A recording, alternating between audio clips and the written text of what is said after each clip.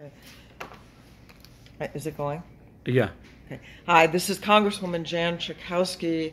Um, I am very, very concerned about the um, incursion of anti-human rights that's going on on the part of India in um, Jammu and Kashmir, um, the um, incarceration, disappearing really of people, the shutdown of communications, the um, lack of just the the humanitarian danger that that there is, that there are um, uh, lynchings and rapes and all kinds of um, violence against the, uh, the the residents there.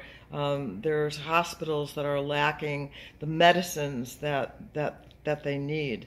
This is being brought about by right now the government of India, who changed its policy toward this region that for decades and decades has uh, had a, a different status, uh, um, self determination, and, uh, and now India has moved, particularly against the, the, the Muslims. Religious leaders have, uh, ha- have disappeared, and really the um, United States needs to um, speak out. The United Nations needs to speak out against um, really the atrocities that are happening right now in that region.